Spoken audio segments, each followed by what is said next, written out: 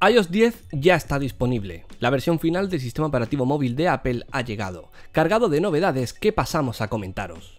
Antes que nada, vamos a empezar por algo importante, y es que debemos saber que iOS 10 deja dispositivos atrás, el resto, desde el iPad mini 2, el iPhone 5 y el iPod Touch de sexta generación en adelante, podrán actualizar sin ningún tipo de problema un proceso tan sencillo como conectar el dispositivo a iTunes y darle a actualizar, o bien desde el propio dispositivo, si contamos con conexión a Internet, solo tendremos que ir a los ajustes y desde ahí seleccionar la opción de actualizar. Claro que también, si lo prefieres, podrás realizar una instalación limpia desde cero. Para hacer esto último tendrás que ir a iTunes y darle a la opción de restaurar iPhone.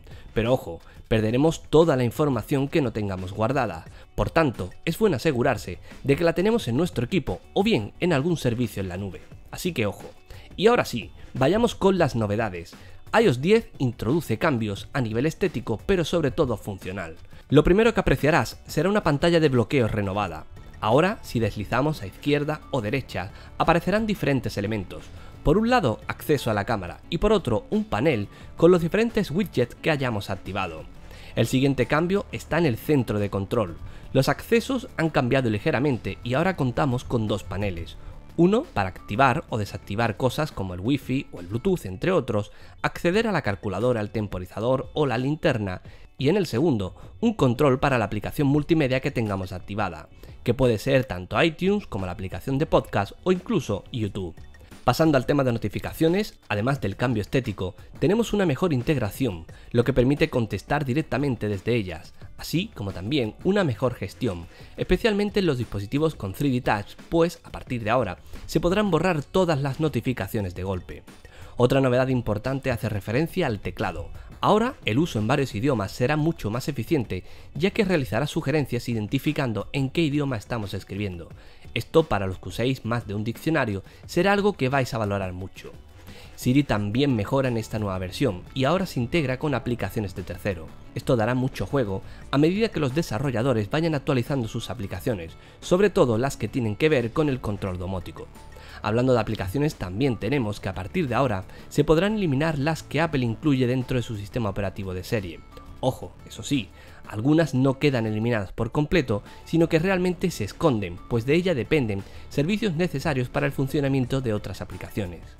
También podremos priorizar las descargas de aplicaciones, algo bastante útil para que se actualice antes aquella que nos interesa más. Las aplicaciones nativas como Mail, Mapas o Notas, entre otras, también mejoran. Especialmente destacable es la mejora de notas, que ahora añade la opción de crear y compartir notas para el trabajo de forma colaborativa. Habrá también un nuevo modo de alarma inteligente para despertarnos cada día, pudiendo no solo establecer el horario, sino también el tiempo que queremos descansar, o al menos intentarlo. En la aplicación de fotos también vemos novedades. A partir de ahora podremos hacer anotaciones sobre ellas y la aplicación en sí es mucho más inteligente.